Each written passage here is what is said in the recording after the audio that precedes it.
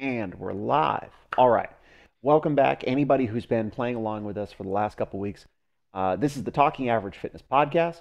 As always, my name is Sam Burns, and I'm joined by my compatriot, Mr. Kevin McCarthy. Kevin, how are you today, sir? I'm doing fantastic. Sam, how are you? I'm killing it, loving it, absolutely crushing things, uh, including life. So, Awesome. we got to the end of our uh, podcast last week. We were talking about why people train. You know, like why do you do what you do when you go inside of a CrossFit gym? And we were settling on a thing that it comes up a lot in our discussions. It comes up a lot in discussions with, I mean, I know for me and my clients and my athletes inside of the affiliate, always trying to be mindful of, well, do I need to do more? And, you know, how do I reach my goals? And um, I only did one workout today. Is, you know, am I going to get better? And, you know, talking about volume in training, uh, and especially as a means to achieve goals. And we both referenced uh, a classic article from the CrossFit Journal 2016. Um, it's called A Deft Dose of Volume. It's written by Mr. James Hobart, who is, you know, longtime uh, CrossFit seminar staff, Flowmaster, um, also, you know, multiple time CrossFit Games competitor, and not just like, hey, he went to the games. No, like podiumed many times. He's a guy Mhm. who knows what he's talking about, not just from a competitive side, but from the methodology side. Uh, Mhm. and hopefully, some people who listen to this got a little impetuous and they clicked the link that were in the show notes and they went and they, they read the article, right? But if they didn't, that's why we're here. So Mhm. the article is called, again, A Deft Dose of Volume, and it talks about um, how or why athletes might add volume to their training. And as we are wont to do, we like definitions in CrossFit. So when we talk about volume, my air quotes, Mhm. how are we defining volume here, Mr. Kevin?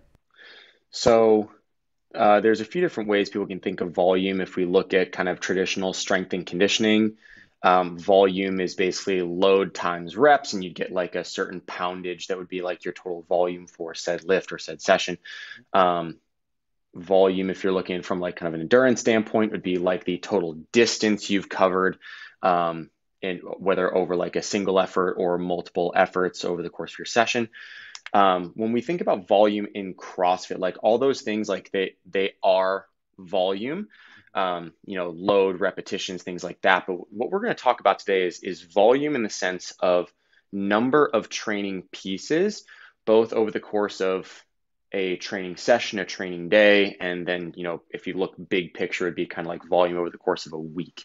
Um, so it's basically the number of training pieces that you are doing um, would be your total volume for that again training session your training day or your training week Mhm. um, so that's what we're looking at and wh- what we're talking about so if as we're going through our uh, this episode and you're hearing us talk about volume like we're specifically referencing the number of training pieces um, over the course of your your day and we'll kind of keep it mostly there I think that's it's really really important for us to kind of highlight that.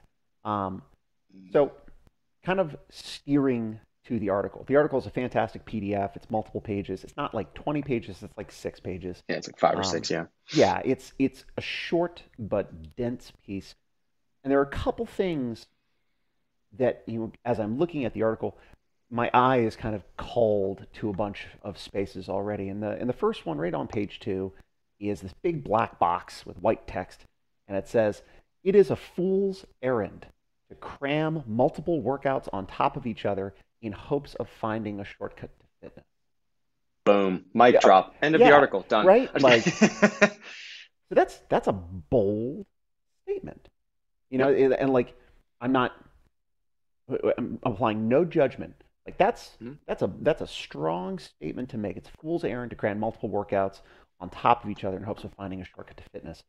And I think there's some important definitions here. Like, he's saying multiple workouts. He's not, for example, saying accessory work or um, a skill piece, you Mhm. know. And uh, we, b- prior to hitting record on this, you know, you were talking about accessory work and examples of accessory work, Mhm. things that you can absolutely participate in and it's not going to be detrimental. I'd love for you to Mhm. like recall some of those for anyone who might be listening. Yeah, I mean, I, another section in the article, I have no idea what page it's on, but um, it's he he goes into that, you know, when we're looking at starting to dive into whether it's you want to train more just because you really enjoy it and you want to see improvement in these things, or you want to start competing in local competitions, improve your placement in the open, whatever your goals might be. Um, you know, James goes on to say in the article that the majority of athletes are going to find adequate preparation in your kind of one intense effort per day and then targeted skill work. And it's phrased exactly that way is that your the majority of your athletes are going to find adequate preparation for any fitness endeavor, be it competitive or not, um, in one intense effort per day and then targeted skill work.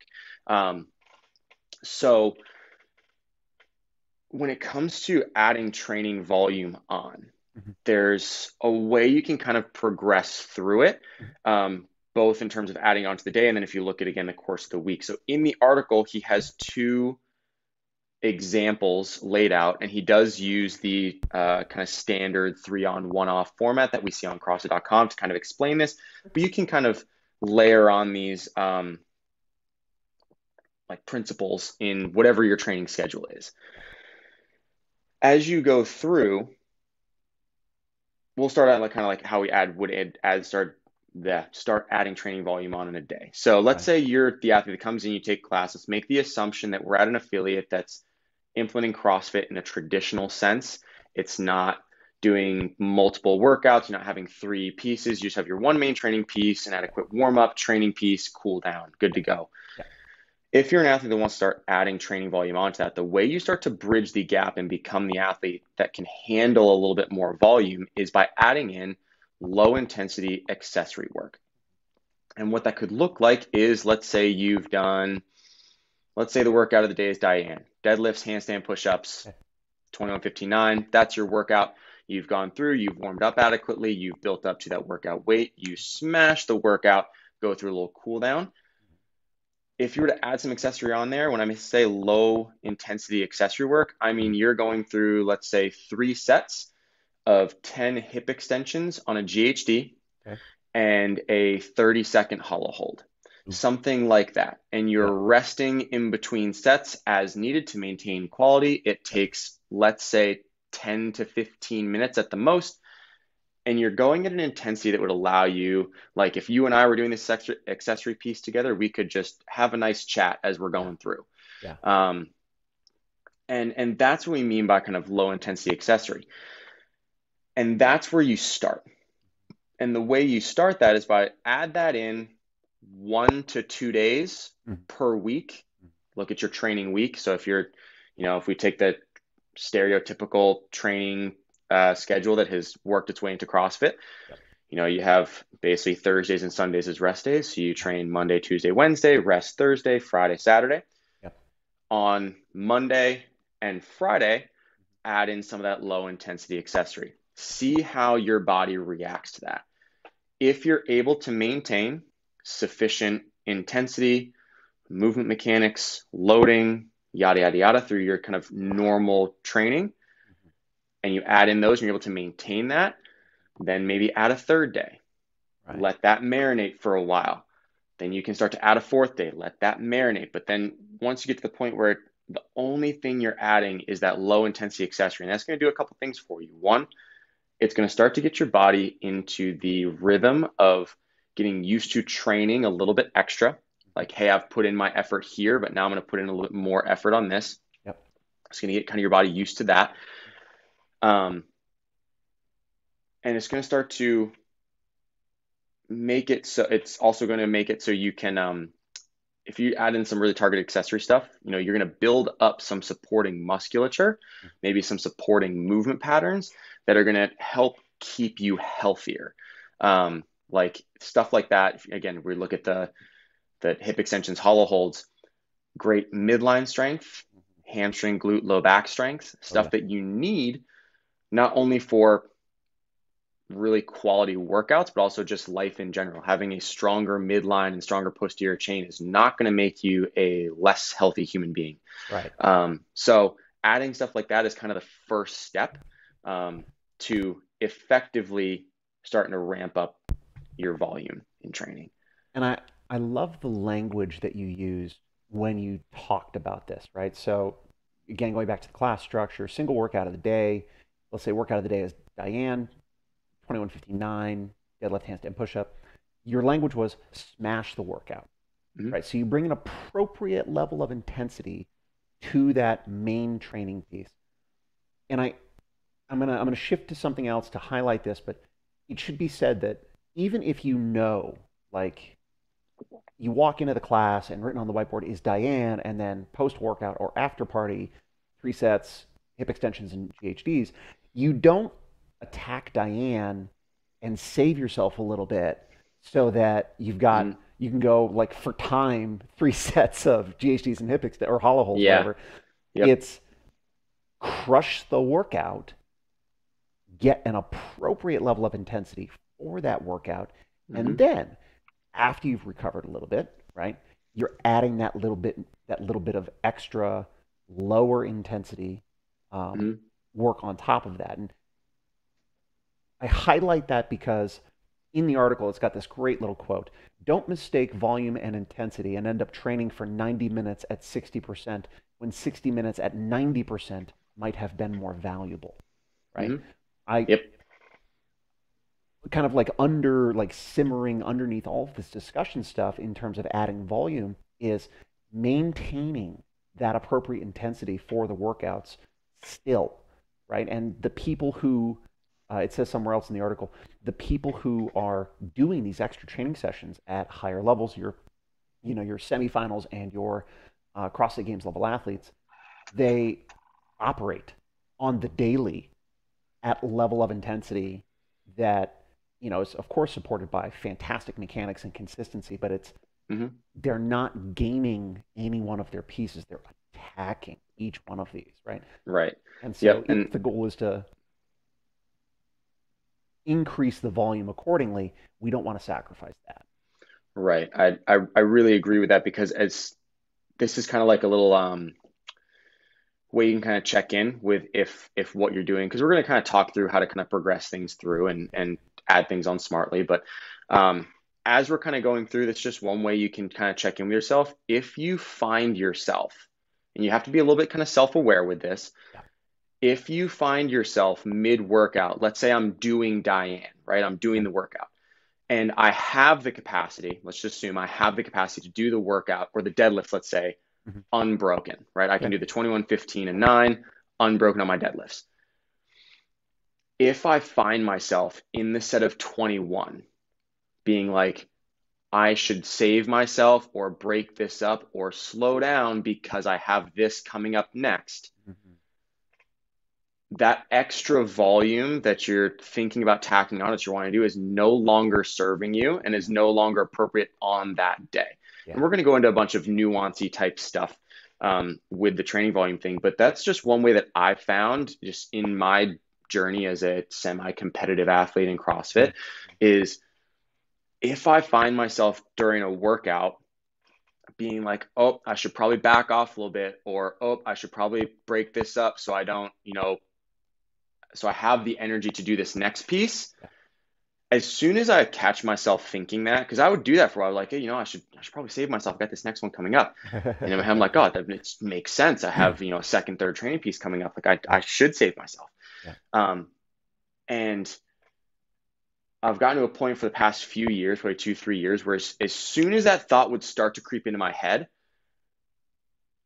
I would just I would chuck that extra training piece out. Be like, let, yeah. let me finish this workout cross that off the list. Yeah. As long as I did it with sufficient intensity, rest as I need. And if I still have some left in the tank for that training piece, like cool. Yeah. But if not, you can always maybe adjust it. Maybe instead of being a, another conditioning piece, you adjust it to a for quality piece. Like, you know, you yeah. can move these things around. And I, work, I know we're going to dive into it, but that was kind of always my way and, and a cool way. I think that hopefully anyone that's listening, you can start to check in with yourself. If you do do doo doo. If, and or 12. Sorry. Uh, yep, pretty much. Um, if you are someone that does multiple training pieces per day and you find yourself mid workout constantly being like, oh, I should probably back off a bit so I can save myself for this, it's no longer appropriate and it's not going to serve you well to do that extra training piece. You should put more of your eggs in the basket of the piece you're doing now, get the most out of that rather than getting 60% out of both that makes sense so that that's a, a way to kind of think about that and, and have that kind of check in is is this still serving me yeah and i i i love that we can kind of highlight that from the get-go you know and mm-hmm. and again that these things like this some of the stuff that we're saying is backed up by you know what is written in the article for example, if your athletes require frequent scaling, extra workouts are not the solution. Similarly, if your mm-hmm. athletes struggle with mechanics, then once again, adding volume still isn't the answer, right? Mm-hmm. Um, and so we've covered mechanics, we've covered consistency, and of course now we want to make sure that we're keeping mm-hmm. intensity up as well. Yep. So okay, so talking about volume, then, there's mm-hmm. a lot of ways that we can start to add in volume that is not mm-hmm. just an accessory piece, a little yep. like a finisher or a, a pump session, something like that, that is just kind of like fun, right? Mm-hmm. Let's assume then that I've been coming to CrossFit consistently that means mm-hmm. three or more days a week at the minimum mm-hmm. for probably a couple years. Yep. Right? Um, I have been coached and I have implemented the feedback from my coach. And as a result, I have taken myself from wherever I was when I first walked in the door to hopefully a better movement pattern, not just across one or two things, but across all of my pieces right? All of my mm-hmm. workouts, mm-hmm. my modalities. I'm ready to, I think I'm ready to start adding something a little bit more, right? Mm-hmm. Yep. What's next? So, you know, I, I just want to touch on an important point that you just made was the, the movement mechanics. Mm-hmm.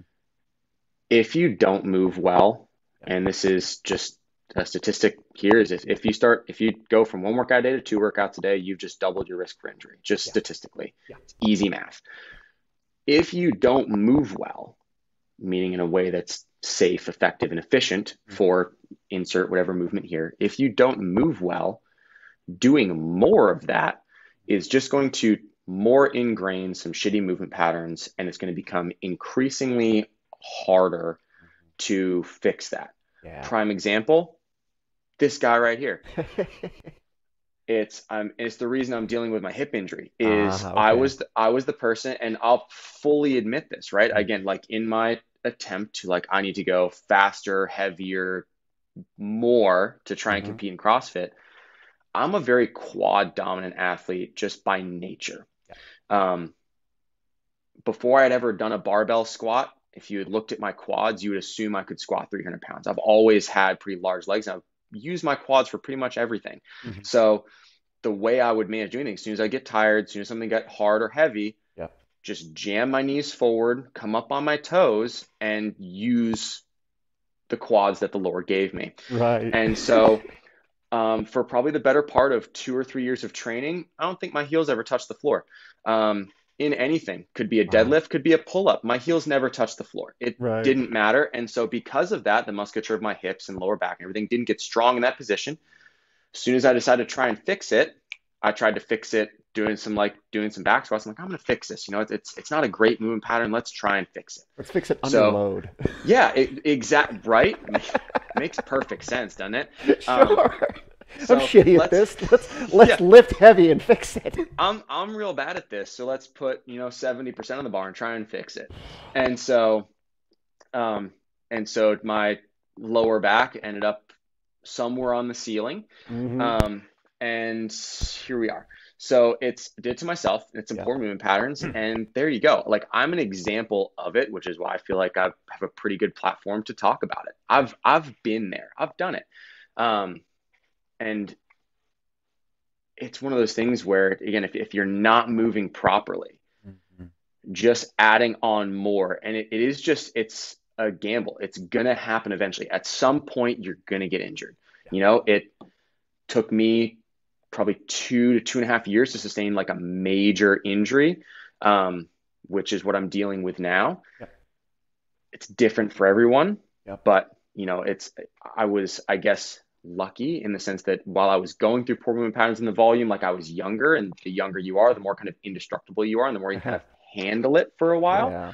Um, which then makes it more dangerous because you're like, oh, like I'm good to go. Right. Um, so that point about mechanics, if you're not moving well, like you have to move well to earn the right to train more. Let's just put that there. I, I As we start to, yeah, before you before you go any further. I think it's really really important to highlight what you just said. Mhm. You have to earn the right. Yep. And I, I, I agree wholeheartedly. I want to make sure that it's said that we're not, like, we're not misusing that phrase in the sense that, like, we're not trying to say that anyone is better than or worse than or greater than or lesser than or anything Yep. like that. That's not the way this works. What we're trying to do is, as professionals, we're talking about, you know, for example, let's use the pull up as an example, right? If you cannot do a strict pull up, I'm not going to teach you how to do a kipping pull up. And it's not because I don't want you to know how to do pull ups. Mhm. It's because without having developed through strict strength adaptation the stability and the capability to control your body, you know, the full load of your body through your shoulder and up into your arm and your elbow and all of that stuff. Mhm. If you have not developed that, it is irresponsible of me to teach you how to flail about at full body weight underneath the bar, right? Um, Yep. And so when we talk about earning it, that's the kind of thing that we're talking about here, right? Mhm. We're talking about responsible training and how to progress in a responsible, responsible way that hopefully doesn't put you in the hurt locker, like Kevin is talking about right now. Yep. And I mean, it, something that I've, I've heard Austin say a lot is most people's ceilings are limited by their mechanics, not their capacity. Um, Ooh. if if you have greater, it's a great line, right? I got to think Um, about that one for a bit. Yeah. like most people's ceilings are limited by their mechanics and not their capacity or potential capacity, however you want to kind of phrase that. Right? Most people could probably go super bonkers moving like a bag of hammers rolling down the stairs and get something done really quickly.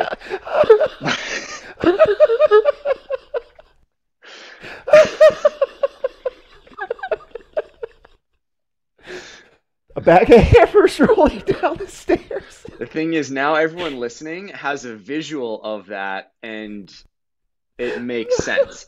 Um, so, but most people go bonkers and they get something done really, really fast, but is it going to serve them? Most people, again, we'll come back to this, would be like better served trying to move better, more efficiently in a certain movement as opposed to adding on extra training. right. Um, but let's assume that we have an athlete that has they've come through, they've been doing CrossFit consistently, three to five days a week. Their movement mechanics are consistent and sound across all of their movements. They have requisite strength Yeah. um, and endurance and yada yada yada to have kind of earned the right to start tacking on some extra training. Yeah. The kind of pathway you'd go through, as we kind of touched on this a little bit earlier, is you start with that low intensity accessory work. And it should kind of serve and kind of go along with the day Mhm. um, that you've done. Um, and it doesn't take much more than like 10 to 15 minutes, but it kind of adds on that accessory piece. And you start laying on, start with one day, let it marinate. Yep. And when I say let it marinate, I say like, you know, I'd say four to eight weeks, depending on who you are. And you can kind of play around with it, but it's like letting it marinate is like more than just like, okay, it's been three days, I'll let it marinate. Nope. Yeah. Give it at least a solid four weeks of just adding in that one day of accessory, then add a second day, then a third day, progress through. Once you're at the point where you're doing accessory all three to five of your training days, Yep. you've got that accessory work in there to kind of support your musculature and everything else. Once you're there, okay, then you can take one of those accessory sessions. Mhm. The way I would go about is turn that into a low intensity skill session. Okay. Choose a skill that's kind of a targeted weakness for you. Mhm. And when I say skill, this might blow some people's mind, that Yeah. can include the barbell. Yeah. Um, and so choose a movement that you need to work on from a skill perspective. And again, making it lower intensity. Yes. And when I say lower intensity, it's not an EMOM. You're not adding another workout that just has this movement in it. Yeah. It's really hard to work on your pull up mechanics in Fran because the intensity is way too high for you to focus on the mechanics part of it. You're Yes. too concerned with trying to die instead of PR. Yeah. So you're re- taking the workout or the workout, the movement, and removing it from any ounce of intensity. Right. And What that might look like is let's take the pull up, for example. You're going to do five sets Mhm. of five pull ups. Mhm. Let's, let's assume a gymnastic kip or a butterfly because that'd be more the skill aspect. sure. You're going to do five sets of five pull ups, resting as needed in but like at least two minutes in between. And your Yes. goal is to make each set of five pull ups the most perfect pull ups Mm. in the entire world. Yes.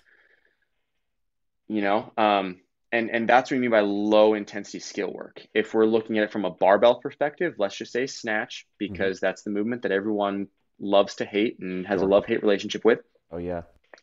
You're going to take a PVC pipe hmm or at the most an empty barbell Yeah. and you're going to work positions and mechanics Mhm. and you're going to work on your timing and you're going to slow down your pull you're going to pause in the bottom of that overhead squat and show me active shoulders and knees out and a beautiful you know Yeah. bottom position for your snatch Yeah. and it's like that's the low intensity practice Yeah. Doing a 10 minute emom of three snatch to 70% is not low intensity skill work for that movement. Same as doing a 10 minute EMOM of 10 pull ups is not low intensity skill work. Yeah. I'm talking about, again, same ideas we had for the accessory work. Mhm. If you and I are going through this together, we're Mhm. like, hey, Sam, let's practice our pull ups today. Mhm. We're going to do five sets of five pull ups. Like, we should be able to just, we're just carrying on a conversation as we rest between sets. Mhm. You know, we're watching each other do our pull ups and maybe giving each other some pointers and the whole deal. That's me my low intensity skill work. I I think we can also put some definitions to some of this. You you've done a great job of kind of differentiating between accessory work and skill work, right? Mhm. So accessory work, the example again, GHD hip extension and hollow hold. We're talking about low intensity and also low skill requirement. Now moving Mhm. into skill work, still low intensity, Low intensity. slightly higher skill requirements, so slightly higher neurological load, right? Yep. We're defining low, low intensity. There's a bunch of different ways we can define it, but I, Ben Bergeron has a, a great breakout that I've used for athletes before. This would not be what we would call training, right? Mhm. So he has a couple major groups. There's practice, there's training, and there's competition, right? Yep. What we want to try to achieve kind of on the daily inside of that single workout of the day is training, right? Competition is a whole other beast. We're not going to talk about that for today, right? Practice is something that uh, a label that we can apply to the skill work or this accessory work. Yep. We can define it as less than 50% of one rep max, very, very manageable load. Uh, the Yep. heart rate never gets above 60%, right? Mhm. Your level of focus is very, very, very high, right? hmm and your the demand on you physically is correspondingly very low Mhm. because for you to bring the neurological capacity to bear on this skill work this thing that you want to get better at you cannot raise the intensity a certain level you cannot have your heart rate spike super hard right because Right. you know i like to joke about it the moment the heart rates start to rise the iqs start to fall right we, we, we just we can't Accurate. think critically you know at max heart rate Mhm. um, so so i love you know we can kind of outline these two things and Mhm. especially like active shoulders and empty- empty barbell in the snatch i mean you want to get better at your snatch spend 10 seconds in the bottom of an overhead squat with an empty barbell Mhm. and just you know learn to love that position you know um, Yep. And and I think one of the best ways to improve your skill on a movement, and again, we'll use the snatch as a as a as an example, Mm. is to get comfortable in those positions. Yeah. You know, some of the best skill work you can do for your snatch, accumulate five minutes in the bottom of a PVC overhead squat. Horrible. If you're doing it properly, you're terrible. And I mean, it's um, I'm not sure if you're familiar with like some of the guys at Misfit Athletics or or a fan of them at all, but they're smart group of guys. They have one of the better competitor programs in my mind Mhm. um, that's available out there. And one of their coaches, Hunter, is incredibly blunt, and I love it. Um, and so they were on me. talking. I'm, I'm so excited there he was talking about um, uh, they were talking about like athletes in, in certain positions. Um, I forget the episode, the name of the episode. If I if I find it, I'll have to send it to you because you'd Yeah. really enjoy it. Yeah. And he was like, they were like, oh yeah, like most people, you know, most athletes like aren't super comfortable in the bottom of a squat. And he chimes in, he goes, that's because most athletes haven't seen the bottom of a squat. So why would you be comfortable there? It's Right. like you've never been below parallel once in your life. Why would you be comfortable there? Why would you be strong there? Right. And I was like, huh, savagery. But Obviously, there's a little bit of hyperbole there, it's but yes, right. Um, but it, it goes to show like if if you're like, hey, I'm just not comfortable with squat snatch, well, how good is your Yeah. overhead squat? If the overhead squat you show me has you shaking like a leaf in a Mhm. breeze Mhm. and you're with an empty bar, like, well, yeah, of, of course your squat snatch isn't going to feel great or look great. And you're not going to be confident in that lift because you haven't developed sufficient stability, comfort, strength in that bottom position. Yeah. If you can show me someone who has a rock solid bottom position for an overhead squat, and I'll use a PVC pipe. Yes. The PVC pipe is a phenomenal tool for exposing these things in yourself because it does not care. Um, it, if, if you've taken a level one seminar, you know how humbling the, that eight ounces of terror can be. Um, a terror. Yep, it really it is. Um, Wow. because like if you're using an empty bar or even a light barbell, there's some load there that can either A, push you into position, or you can kind of use that to push against to maybe rotate your shoulders into a more optimal position or something that Provides even you a little maybe bit of feedback. yeah, a little bit of feedback you can like you can push against and rotate against and the whole thing. Yeah. But if you can do that with a PVC pipe, then you have achieved some like true mastery over those positions if you have a really good PVC overhead squat. So Mhm. um again, like the the the skill portion for the lifting is like master those positions. Yeah.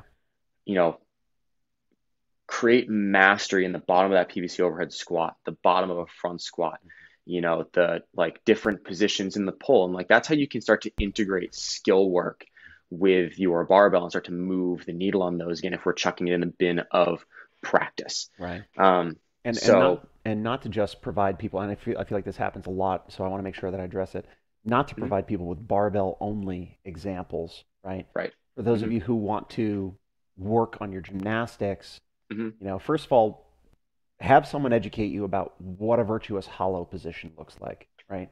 Um, and again, you know, to piggyback on that bottom of a squat thing, very rarely have I Mhm. come across an athlete who understands what a virtuous hollow position looks like without having had a coach correct them into that position, either inside of a CrossFit gym or having a previous experience as a gymnast of some kind. Um, right. and so once you understand what a hollow position looks like, what it feels like to hold that Mhm. position, then say you want to develop your your kip underneath the bar, the beat swing, right? Mhm. Hop on a bar, super aggressive grip. For those of you who are watching, when I say aggressive grip, I mean top row, of knuckles facing the sky, thumb wrapped around the bar, right? Oh, you're one of those I absolutely am. Until thumbless I grip all day, baby. Oh, suicide grip. Uh, Oh, so yeah. I'll come back to this in a second.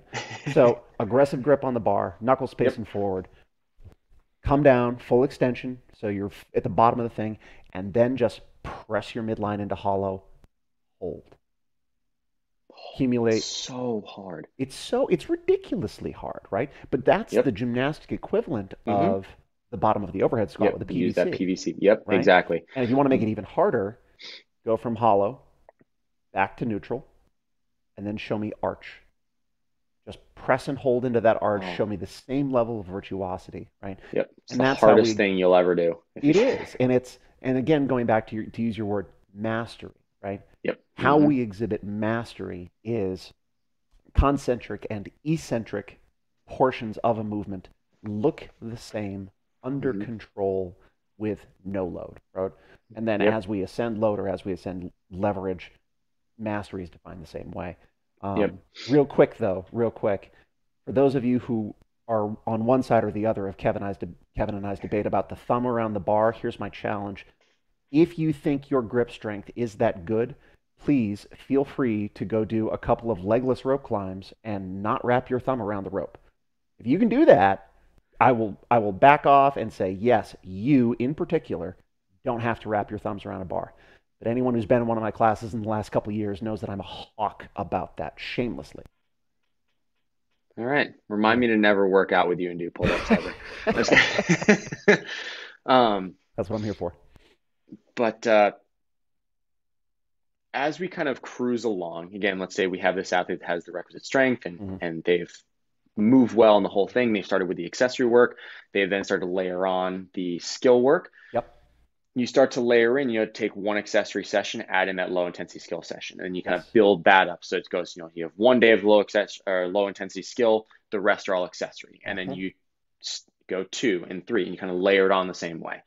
Um, once you're there, then you can start looking at, and I would kind of put these as relatively equal. Again, if we look at kind of progressing along, adding volume in CrossFit, is either building capacity in a gymnastics movement yep. or a barbell movement or building strength yep. in a bar, you know gymnastics movement or a barbell movement. And I'd put those kind of like it depends on what you need to work on. You know, there are some athletes that come into CrossFit and they're like, you know, I can uh, this is just me making something up. I don't think there'd be a human like this, but let's just for a sake of example, I can back squat 400 pounds, right? But I can't do 10 unbroken thrusters with a 95 pound bar. Right. It's like, okay, cool. So you have incredible strength. You don't really need to work on that anymore. Yeah. You're lacking the capacity. Right.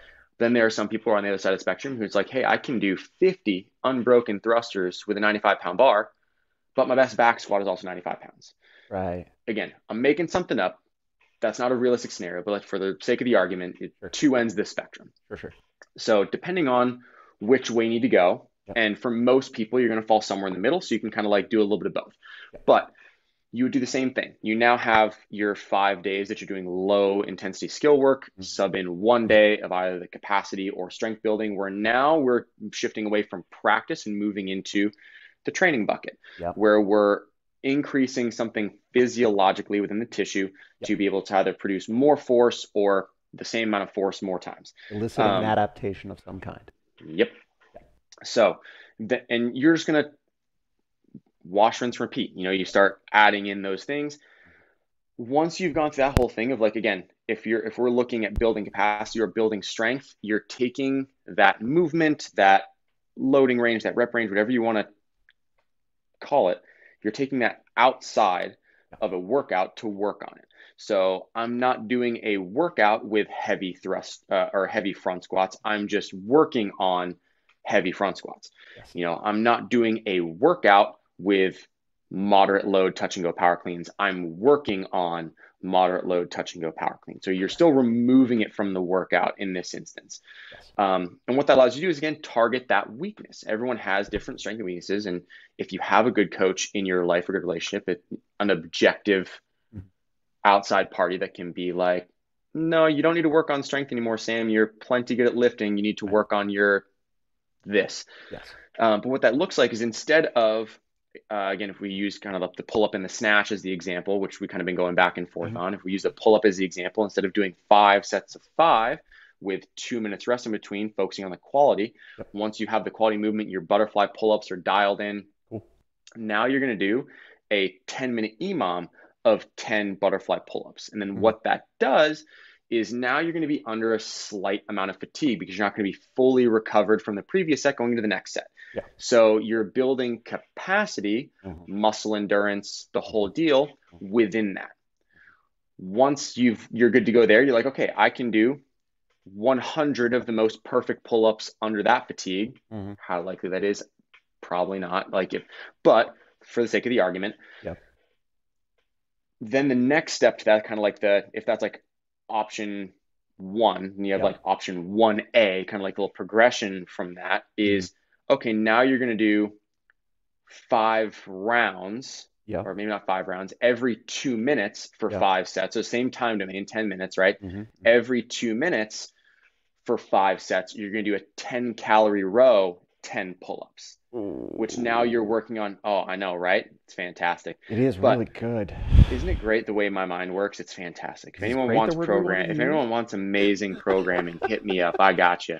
Um, and so uh, that's kind of like option one. How can I progress further from there? So now you're working on again pull up endurance and, yeah. and muscle endurance capacity, yeah. but now under pre fatigue. Yeah. Because the row is going to in- interfere with the pull, but also mm-hmm. your heart rate's going to be higher. Mm-hmm. You have a limited window to work in, so you can't just have the 10 calorie row take seven days and then right. get up on your pull up bar good to go. Right. Um, so that's kind of the deal there. If we look at the snatch side of things, that can look like, um, you know, six by three squat snatch at 70%, and you're building strength there.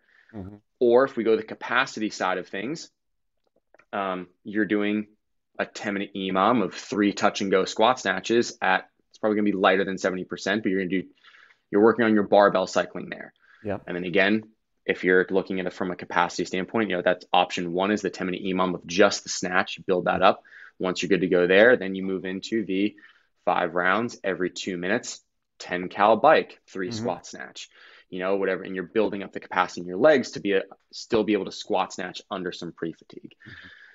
And there's, there's a subtle thing that Kevin has woven into. He really does have a good handle on programming and give you a little plug here for Ginger, Ginger Ninja programming Oh, like, yeah. thanks, bud. there's a subtle thing that he has woven into this. If if you if you're paying attention to what he's describing, he's describing conflicting movements, right? So row interfering with pull up, like erg interfering with their legs' ability to generate power for the snatch. He is also satisfying two things. The first is muscle endurance in a targeted muscle group, right? And so you can focus on, yeah, I want to get better at my snatch and especially under fatigue, right? But he's doing so in a way that satisfies variance as well.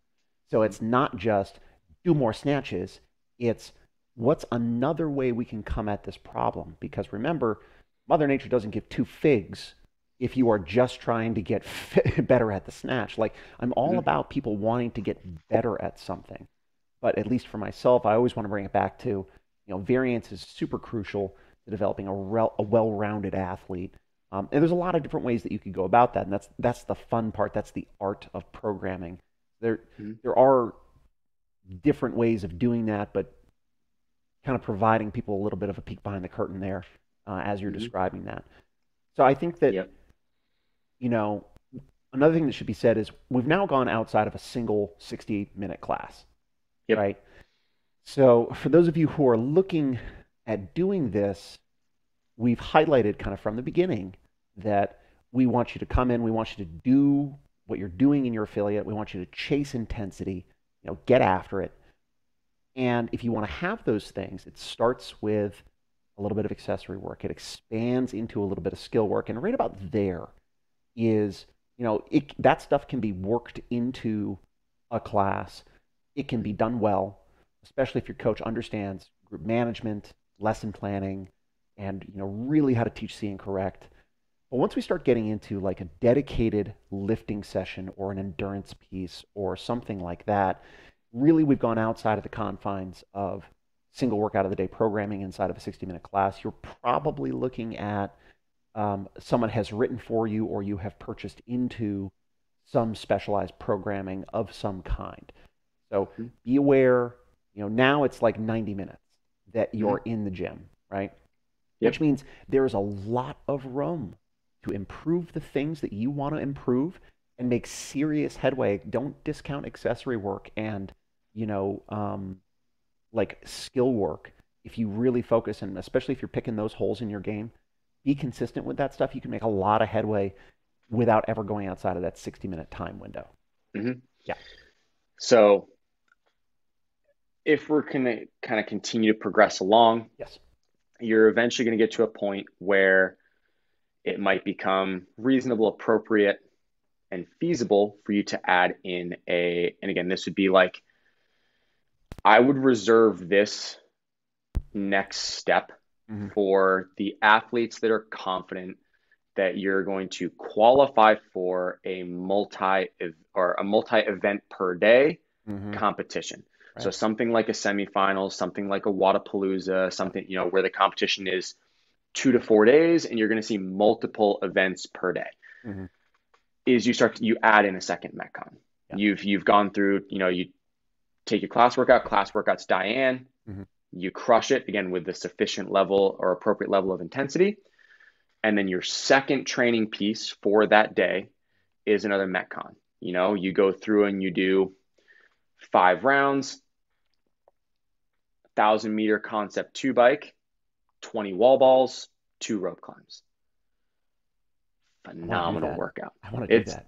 it's a great listen. I'm just giving you people some some ideas. If that's, everybody write this down. yeah, It's ev- free free food any workouts we talk about this show, write it down, please. do it, Yeah. and then tag us on Instagram because I want to Mm. see you guys doing it. If you here's another idea. This is work I I wrote for myself. Did it uh, on. Tuesday. If you're looking for if you're looking to build some leg endurance and to Okay. um get the bitch out of your heart on the machine, you're gonna do it's every four minutes Okay. for four rounds. Okay, Okay. it's for 16 minutes. Every four minutes for four rounds, you're gonna do 30 unbroken wall balls okay. and 30 calories on the Concept 2 bike. okay. The caveat being, and this is different for different people, you had to hold a certain pace on the bike. Right.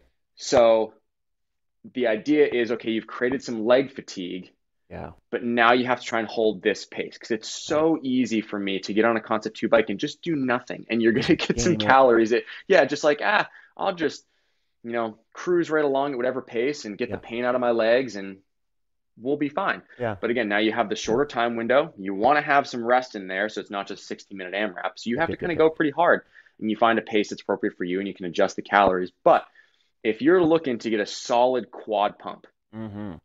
It was a great workout. It was it was everything I needed. I'd, you know, coerced one of my co-coaches, Colin, into doing it with me, and he was in, incredibly uh, thankful. Is the word that yeah he appreciated it so much. Um, but yeah, it you know as we're going through, if you, if you're one of those athletes, I'd say for most people, the 99.99% of people that you know you're not going to a multi-day multi-event competition Mhm. kind of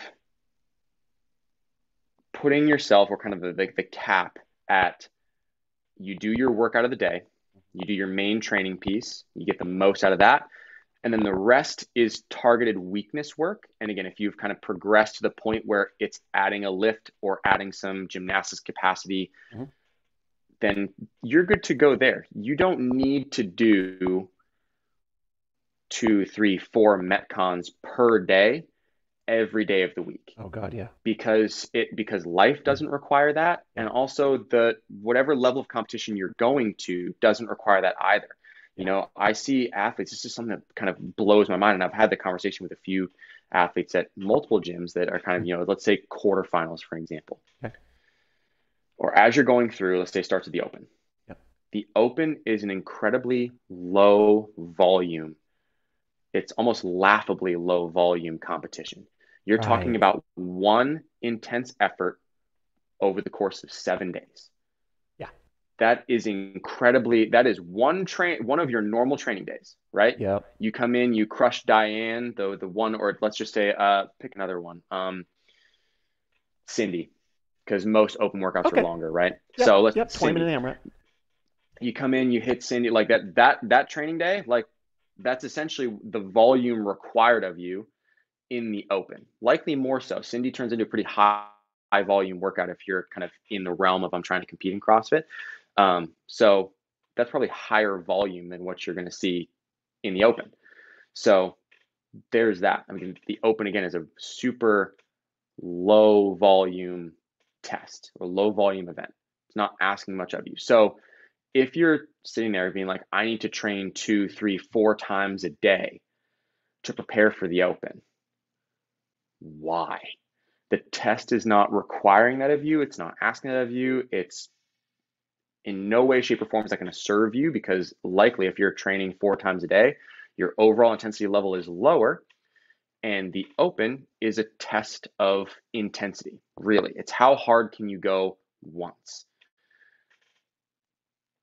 If we move on from there, and let's say you're an athlete that has gone from the open and we've now qualified for quarterfinals. We're now in the next stage of competition. Welcome back. Thanks, man. Um, uh, you didn't really miss much. Just me talking about like the open, super low volume. It's just it's yeah. one test. It if you're training three or four times a day Heard trying to prepare for the open, you're Yeah. okay, fantastic. So let's just say we're the athlete that then you've qualified for quarterfinals. We made it to the next stage of competition. Yeah. quarterfinals, the past two years, and again, it could change, but hmm t- the pattern tends to follow. It's been five events, Yep. right? But those five events are over the course of four days. Yeah. If you space it, because the workouts are usually released by noon on the Thursday, and then you Mhm. have until the following Sunday to submit your scores and videos and, and whatever else. Right. So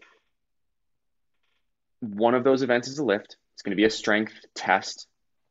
You know, uh, the first 2021 we had a four rep max front squat, Yep. which was the most frustrating thing because who the fuck front squats just for four? Like, I know what I can do for three. I know what I can do for five. There's the fourth. I'm like, well, Go all for it. right then. um, so and then uh, this past year we had uh, the other total, which was it. It was each had a 10 minute window that you had to do it, but it was uh, one rep max clean, one rep max bench, one rep max overhead squat. Great test. Um, so, but one of them is a is a lifting piece, and you have four kind of metabolic conditioning tests. Mhm. If you line it up properly, it's still a super low volume demand Yeah. on you, right? So you let's say you if you line it up properly, you do your lift and then the one conditioning test on Thursday, and then Mhm. Friday, Saturday, Sunday, you do one of the conditioning tests. You warm up properly, you crush it, you cool down, call it done. Yep. That's four days of essentially one intense effort per day and one lift. If you ask me, that looks a hell of a lot like just one training week taking class, Yeah. right? Like Yeah. that's what that is. It's not asking any more of you from a volume perspective. It's asking for intensity. The open Yes. and quarterfinals are a test of your work capacity and your intensity. Yeah.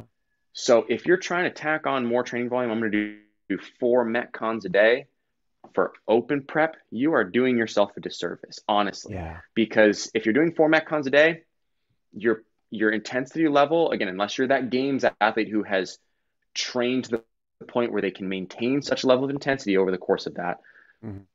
your intensity levels are overall going to be lower, Yeah. and you're going to have less in the tank for that one intense effort. And that's where you have the phenomenon of the athlete that trains four hours a day get absolutely demolished by the athlete that just takes class and goes hard, right? Yeah. So once, so again, I would say for those athletes, if you're in the open quarterfinals, whatever, even if you're like, Mhm. hey, I'm in kind of the top portion of quarterfinals, Mhm. like where myself, like you're in the top 500 of quarterfinals, you're trying to push towards that semifinals level. You still don't need multiple metcons per day. Like you're going to be better served by in trying to improve your strength Mhm. or your capacity in whatever movements outside of a workout so that then hopefully the capacity and the strength that you've built in those you can then plug back into a workout and use it you know if you get better at cycling a barbell then when it turns into the workout that's 10 rounds of 10 snatches 10 burpees over the bar you can cycle the bar more efficiently you remember that workout Yes. made me want to unalive myself that was terrible um, So I, I, as you're talking about this, I was thinking about, you know, you gave some examples talking about qualifying for multi-day type of things before Yes. you started Yep. to talk about volume. You used Mhm. Waza or Wodapalooza as an example. The but Phenomenal you know, chiefly we're talking about the open here, right? Yeah. It should be said that like this is not the case with Wodapalooza. Like you don't get to play at the quarterfinals or semifinals level if you're not RXing the workouts and RXing at intensity, right? at intensity Wodapalooza Mhm. Yep. has a mechanism for, you know, like scaled athletes at a bunch of different tiers, um, which is a, a crap ton of fun, right? Mhm. Where I, as a trainer, have run into the most trouble getting people to buy into and practice this is actually with masters athletes. Mm. Because I get, because of the age range that the athlete happens to exist in, the prescribed loading for or prescribed movement standard for uh, a given set of workouts, it's you know scaled to appropriately challenge um, a different demographic than the 18 to 55 or you know whatever group. Mhm. But that doesn't negate the need for that intensity. Right And if you if you are a master's level athlete out there, and I've had discussions with other athletes about this, and I don't want to pigeonhole anybody, but especially as we are starting to age, and I include myself in this. It's one of the reasons that one of the reasons that I do CrossFit the way that I do is because I want to be able to keep doing CrossFit. Mm-hmm. You know, as as we age, it becomes more important to be mindful of volume and mechanics, quality, virtuosity than it does how much work can I throw myself at.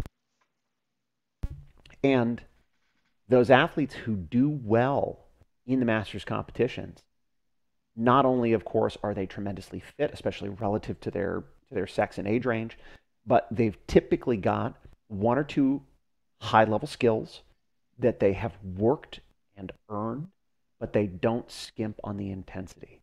You know, mm-hmm. they are they are still driving it home for each one yep. of those workouts that they're doing. Yep.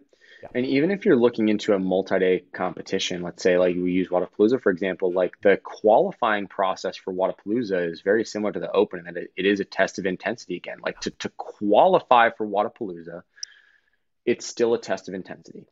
And uh, you know, if if you're at the point where you're like, you know, qualifying for the elite division, which is where all the games athletes compete, mm. it's still a test of intensity. Yeah. You know, like it's you have to be be able uh, again it's a very high level of intensity that sure. those guys can go at and they can do some incredible things but the the qualifier for that is still a test of intensity it's not a test of volume yeah. until you get there and even when you get there like that when when we qualified a team from one nation and we did uh, it was when Wodapalooza was a sanctional during the two years of what the fuck was the game season um, and Wodapalooza was uh, sanctional and sanctionals was was a thing Mm-hmm. Um, so it was like it was uh, two men, two women on a team. And you know, we went down, competed in the RX division, had a ton of fun, mm-hmm. but it was still it was three days and it was two events per day. Yeah.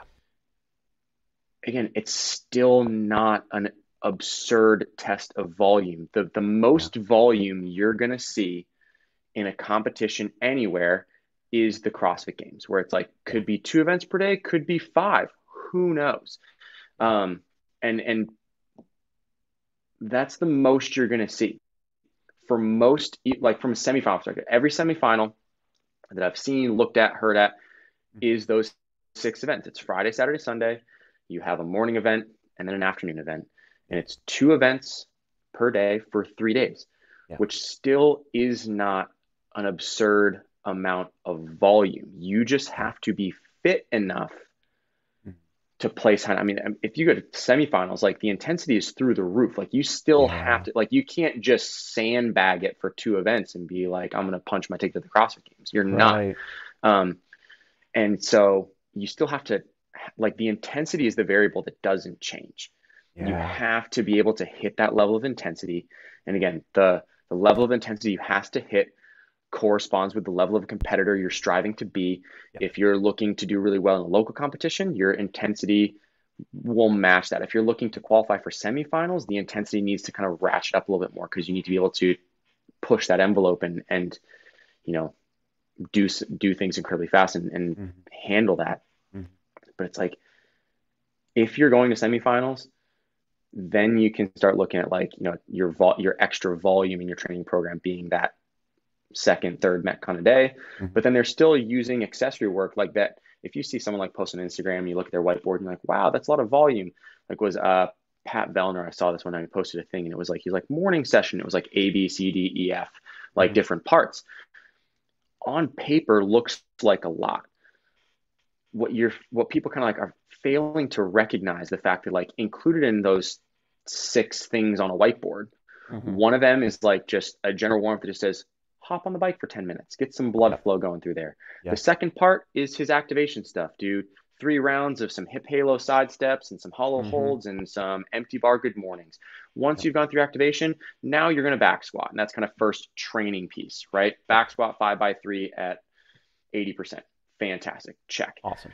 Then you have your workout specific warm up. Hey, you're going to go through three rounds of 10 empty bar thrusters and mm-hmm 10 ring rows and I don't know, 30 second sprint on the bike, something. I don't know, get your heart rate up. Then you're going to do Fran. You're going to do thrusters and pull ups there's your second training piece. And the last thing on the whiteboard is some accessory. You're going to do some rear foot elevated split squats and some plank holds and good to go. Yep. It's like that's the session. In actuality, he's done one lifting piece yep. and one Metcon. Yep. And those are the kind of training pieces that he's done.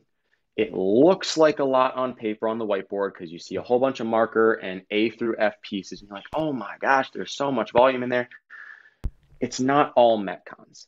It's yeah. not it. Um, again, because the people that are doing it the best understand what's being asked of them at the level they're competing at, and they're mm-hmm. training for that test. Again, they're not doing five, six metcons a day. They're doing one to two, and then the supporting strength work, accessory work, and like that's kind of how they're filling in the gaps. Like it's not like you're just doing, if you're that level, you're doing like two metcons a day and just call it a day. Mm-hmm. You're doing your two training pieces and then some accessory and then, you know, maybe some strength work. You're kind of like filling in those gaps. It's how they kind of like accumulate what looks like absurd volume on paper. Mm-hmm. Um, but it's it's so not what I hear you the saying. amount of volume then, it seems to be. Well, so what I hear you saying then is, regardless of how much volume it looks like when it comes down to it, mm-hmm. it sounds like intensity is the way to results. Yeah, it's weird, isn't it? That's, That's amazing. Shocker. Sounds ridiculous. It's shocker. Um, yeah. But so again, if you're that athlete that's you know whatever your level you're aspiring to get to, mm-hmm. again we'll kind of recap the thing. You start with just adding in some low intensity accessory. Yeah. Get a pump with your friends. Work on some muscle group stuff to kind of strengthen things up, and it will make mm-hmm. it'll make your body feel better. It'll make it help you move better. It'll keep your joints and tissues healthier in the mm-hmm. long term. Absolutely. From there, you start to layer in some low intensity skill work. Yep. As you're going through, there should be a mix of that throughout the week. Maybe on Monday, Wednesday, and Friday, you do some low intensity skill work. On Tuesday and Saturday, you do some accessory work. Yep. Balance that out across the week. Mm-hmm. Then you start to add in the capacity or the strength work. Again, it should still be varied. It's not that every day you're doing a lift and a skill and an accessory and the whole thing. Mm-hmm. Do your main training piece, strength strength piece on Monday mm-hmm. training piece, accessory piece on Tuesday, training piece, capacity piece on Wednesday. Yes. You know, training piece, maybe another strength piece on Friday, training piece, accessory piece on Saturday. Like vary that stuff up. You know, we want to try and keep with the variance. It doesn't have to be strength all the time or capacity all the time. Um, and then that's where I would stay for, you know, two, maybe like if, if that's feeling good and you're like doing the whole thing, then what you can do is maybe like your alternator vary up your strength, your capacity, and your skill work. Mm-hmm. And then the third thing you do each day is you tack on some low intensity accessory work. And like that's your third thing training piece yeah. for the day. And yeah. that is the most that I would recommend for the 99.99% of people that mm-hmm. aren't competing at the CrossFit Games. I would even, I would still, just me as a coach, if I was working with an athlete that like, hey, I'm a semifinals level athlete, awesome. For 99% of your year, you're doing this because we're building your intensity and capacity through your main training piece. We're building up any weaknesses, be it strength, capacity, or skill that we need through that extra piece. Then the accessory work keeps you healthy allows you to like, you know, maybe if you're smaller, I think needs to put on some muscle, whatever it is, that allows you to kind of like address that there. Once you've qualified, and I think here's something that people need to really think about. Once you've qualified for your competition that might be requiring extra volume, you've qualified for semifinals, you've qualified for Wodapalooza, insert competition here, your multi day, multi part competition then, once you've qualified for that, then you train for the test. Ah. If you know what your is going to be asked of you, you know, I qualify for Granite Games. That's my semifinal. Mm-hmm. I'm going to be doing two events per day for three days. Awesome. Then what you do is you train for that. Yeah. Your training week might shift around, but then Friday, Saturday, Sunday, you're going to do your two events, your two training pieces on those three days. You're going to rest on Monday. Tuesday, Wednesday looks just like a normal training day. You're going to do your training piece, your weakness work, your accessory on Tuesday, Wednesday, rest Thursday, and then Friday, Saturday, Sunday again is kind of like I like to think of it as like event simulation. Um, where you program workouts that might look like the events you might see, um, but they're more like your your metcons, your tests, right? If you haven't qualified for that competition, but you're doing multiple metcons per day because again, you think it's going to be a shortcut to fitness, to use James' words, the fool's errand, just adding on that extra volume to try and get there. It's like unless you've gotten there, unless you've qualified, unless you're, you know, unless you have the requisite intensity, you can't play. Yeah. So those are things that kind of like I think that kind of gets lost on some people is like unless you've qualified for that event, yeah, you're putting the cart before the horse if you're trying to train for something that you haven't qualified for because you can't reach the requisite amount of intensity to qualify for it. Right. And all the qualifying processes, whether it's an online qualifier for Wodapalooza or the opening quarterfinals, they're all tests of relative low volume intensity. Mm-hmm. Right? Yep. And to recount, the open is one test over the course of seven days. Yeah. It's laughably low volume. Yeah. Quarterfinals is one test per day for four days. Yep. Which still looks a lot like a normal training week mm-hmm. for most people. You don't need more than that to prepare for that. You need to be prepared to to die in that one test. Yeah. And then once you've reached a level of intensity, and again, that's where kind of like the weakness work, the working on your strength, capacity, whatever, you can kind of like start to button up those holes and weaknesses mm-hmm. to support the level of intensity, right?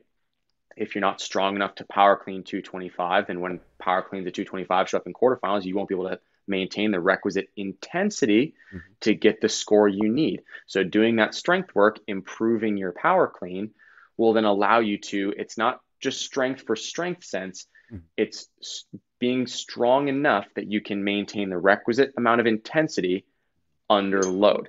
Yeah. And then once you can do that, then you've qualified for your semifinal. Now you've earned the right to play. Yeah. You know, but it's just like a lot of people put the cart before the horse in that. So that's all I got. Yeah. Well, and I think I think we can talk a number of different ways, you know, about the virtues and the and the. It's a lot of fun to do this stuff. It's a lot of mm-hmm. fun to, you know, fun. again, going back to, this is for so many people. This is their happy hour, right? Mm-hmm. You know, in terms of an experience, it's fun to train with your friends, mm-hmm. right? And so, for those of you out there who are listening to this and you're like, these jabronis are just telling me not to do the thing that I love, not what we're saying. Mm-hmm. Again, going back to last week, we're asking you to ask yourself, why are you doing that? Right? Mm-hmm. And if the answer is, I like to train with my friends. You know, this is our happy hour. We like to get after it. You know, we come, we take a class, but you know, we've got an extra hour afterward. We don't want to go home. Yeah. We want to do something mm-hmm. else. Okay, cool. If I, yeah, I put my responsible coach hat on, I'm going to tell you to do something you're bad at, right? Yep. And don't do it for reps or for speed or for time. Yep. You know, if you want to get stronger in your pull-ups, don't do an EMOM of 10 pull-ups. Right. Give me three sets of 30 second chin over bar hold. Oh. Right? Like you like talk about yeah. something that is super unsexy but will mm-hmm. move the needle, right? So that's an Oh, example of something like yeah. that. hmm Find a way if you and if you're unsure of how to go about this, hmm talk to a coach. Yep. Talk, talk to a coach and Talk, say, talk, yep. and, and tell, lay it all out. I want to train with my friends. We want to do something fun. I want it to be a little bit more, but I don't want to cook myself, right? Because Yep. we're always going to be still asking for that intensity in Mhm. those single workouts of the day. And I So- think when when all said and done, it's not the worst thing in the world. Again, there's a whole bunch of nuance to this, and we've talked about you know the avenue of like really trying to support a goal of you know trying to maybe whether it's improve your placement in the open, qualify for quarterfinals, local competitions, you know even qualifying for semifinals, like that path there, like ways we can support that. But at the end of the day, when it comes down to I just really enjoy this, and that's why I train more. It's not really for any competitive goal. Like I might throw my hat in the ring or I'll sign up for the open, just you know be part of the community and have a giggle. But I'm I'm really just I, I enjoy spending more time in the gym because I really enjoy it. Yeah. I think the you know we've said like you know try and avoid doing like that second metcon each day. Again it's not the worst thing in the world. If you're like hey on a saturday you go in and you take a class with your friends then afterwards you're like hey let's do something else stupid because we can. Um, like that kind of stuff can be fun you know? it can be, it's, it can be so much it, fun. it, it can be so much fun. So that it you know we're not saying that if you're training more than this you're an idiot or if yeah. you're you know or that if you if you just really enjoy every once in a while chucking a second metcon in there because you like to throw down with your friends and have at it and yeah. again as long as you're not injuring yourself or injuring other people or just smashing yourself into the ground for mm-hmm. for no reason mm-hmm. all's good in the hood like if if you're like hey you know every saturday you know we we train as normal and responsible adults throughout the week then on saturdays we're like let's get loose. We're going to do Cindy, rest five minutes, and do Cindy again. It's like just right. because, you know, yeah. we just enjoy doing it. We love throwing down with our friends. That's hands. awesome. Yeah. well, bad example, Cindy to Cindy. But you sure. get what I'm saying. Yeah. Like, we're going to do one workout, rest a little bit, do another workout just because we really enjoy it. That's perfectly fine. I think the detriment comes when you think you have to do that every day, mm-hmm. either just to be fit or to try and reach whatever competition goals you need. If you think that's what you need to do, a little bit misguided maybe, but if it's something that you want to do because you're like, I just really enjoy throwing down with my friends and having fun and whatever it is, then mm-hmm. completely fine. And I think that's where the distinction is, is, is I, I'm doing it because I want to and I enjoy it versus I think I need to. Yeah. You think that's so, going to move the needle somehow. Yeah. Yep. Well, I think I think, you know, obviously we could spend a lot of time going down this rabbit hole, even more so. But I think mm-hmm. we've done a good job of kind of rounding out the big picture. When it comes to adding additional volume, there are some some intelligent ways to do it. Um, there are also some ways that are going to be detrimental to your fitness. But as always, it, it, we encourage you to figure out what your goals are and then to be responsible in seeking out ways to achieve those goals. Um, any any burning desires? Anything you want to say on the topic before we cap this bad boy off? Not really. I think just like final thought would be like before you start considering adding on volume, like just mm-hmm. make sure you move well first. Like make sure your mechanics are solid, make sure they're consistent, and everything's good to go there because then you're just going to be healthier, more efficient, less injured going down the road. And being injured is not fun. It's no. it's not a fun time. I'm not having fun right now. I, uh, so take it from me as yeah. someone who's been there, yeah. dove down the volume hole when I didn't really deserve it, and then now here I am um, dealing with said consequences. So that would just be my final thought and recommendation for everyone: is just make sure movement mechanics wise you're solid and good to go before you start tacking on extra volume. Beautiful. I think it's yeah. a, I think it's a great sentiment. I echo it entirely. Um, so I don't I don't feel the need to add anything. Uh, so I'd say if you made it this far into the episode, thank you for listening and or watching. Hopefully it was useful. Next week we're going to come back with something completely different, uh, and hopefully it's as or more entertaining. Uh, between now and then, as always, Kevin, thank you for sticking this out with me. I really appreciate what we're doing here. Oh, always love it. All right, everybody. We will chit chat with you next week. See you. See ya.